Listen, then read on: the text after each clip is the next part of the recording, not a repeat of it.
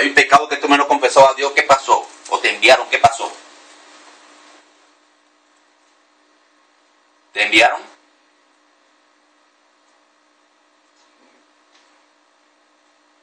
¿Fue brujería?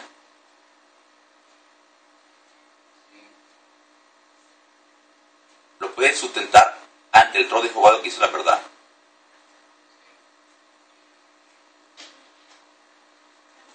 ¿Cómo hicieron la brujería?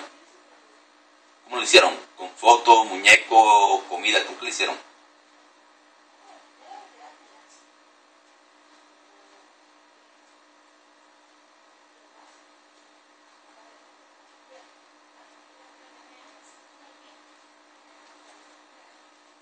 ¿Cómo hicieron la brujería esa? ¿Qué pasó?